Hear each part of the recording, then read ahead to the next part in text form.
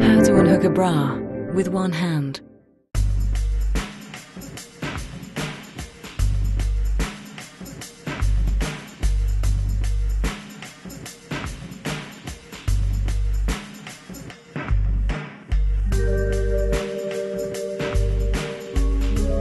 Slide your index finger between her back and the bra from the top down. Gently pull the strap away from her skin. Using your thumb and middle finger, squeeze the bra strap inward, folding it around your index finger. In a snapping motion, pull the hooks from the eyelets and release.